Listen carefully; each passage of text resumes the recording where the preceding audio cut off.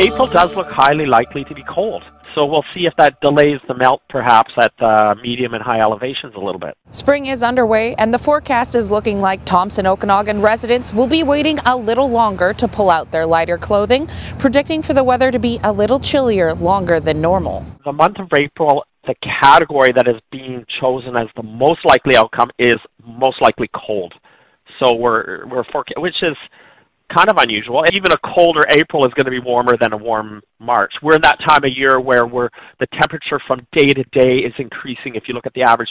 Long range forecasts for the rest of spring and the start of summer are sitting on the fence between warm and cold. No category was chosen here, so it's all three being equal, near, above, or below, which is sitting the fence a little bit.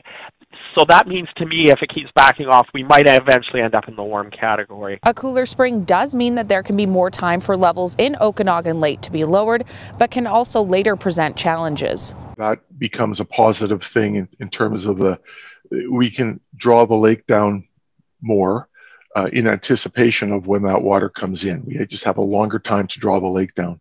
Um, whereas uh, the longer that the freshet takes to uh, start because it's colder, um, the higher the risk of getting a, a hot spell or rain on snow that would again cause an issue with some of the tributaries, the creeks, uh, and streams that flow into um, Okanagan Lake and into the rivers. Even with a high level of snowpack this year, water managers are feeling that they're at a better place at this time to handle what could come. And there could even be a downgrade for inflow forecasting. And, you know, we had a, a 120% of normal was our uh, Okanagan Snow Basin Index for March 1st. Uh, and uh, that was higher than we saw last year. But a lot of that snow really is, is at the higher elevations. And so, you know, we don't see a lot of lower elevation snow.